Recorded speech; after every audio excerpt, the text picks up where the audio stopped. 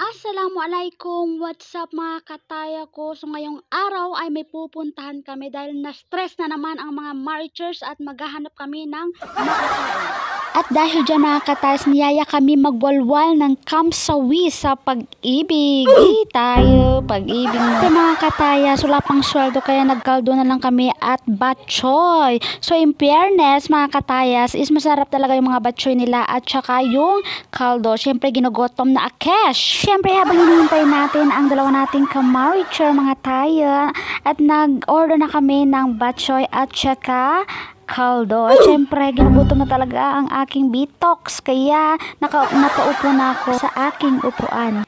At syempre, dumating na rin sila Taya. Kaya simulan na natin ang ating chibugan mga katayas. Ayan. Bago tayo magsimula, ayan, magpa-cute muna kayo sa camera mga taya. Ayan, tawang-tawa naman si Maricher. O, oh, tayo. Ayan, ay nagpa-cute na naman si Taya. Kaya sabi ko, tara na kain na tayo.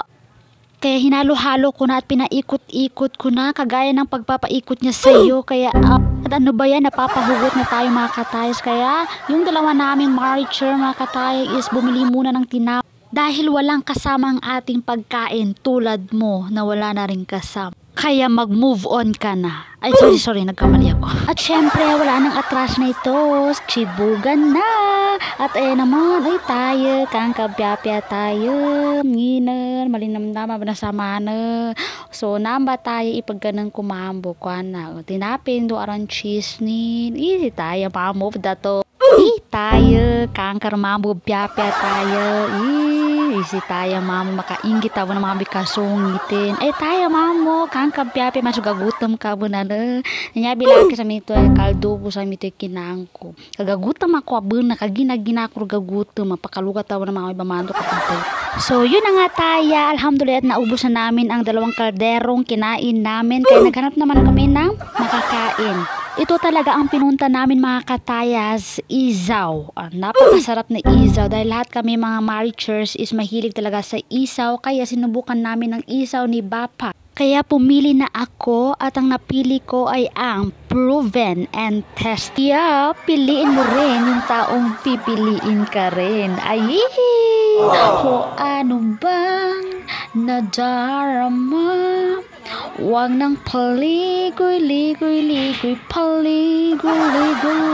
Ay, ano ba yan mga tayo? Napapakanta na ako sa sarap ng aking kinaing izaw, di Kaya hindi ko namamalayang mainit at maanghang pala mga taya at nagulat ako doon, no? So, talagang masarap talaga yung izaw nila dito, no?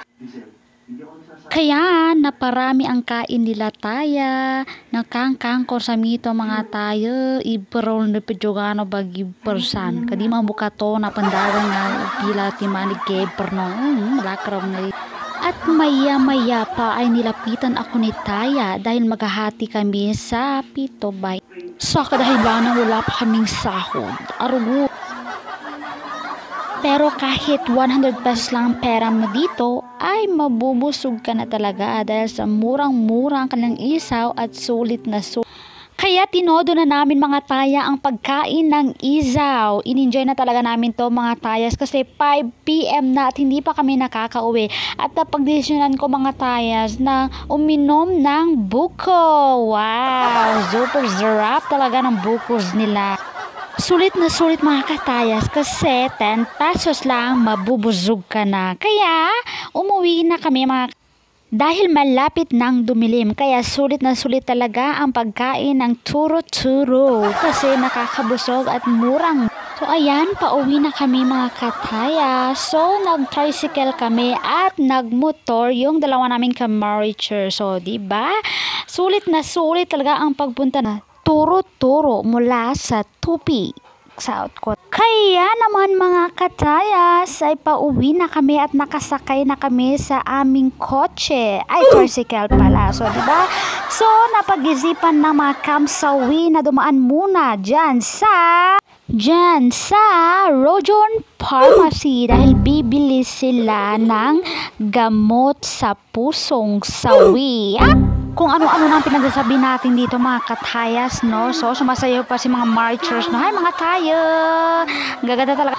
By the way mga kataya, hanggang dito lang muna tayo. Sukran, bye!